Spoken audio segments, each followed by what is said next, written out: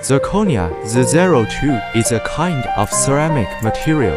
It has the characteristics of high corrosion resistance, high temperature and low cold resistance, and no magnetic or electric insulation.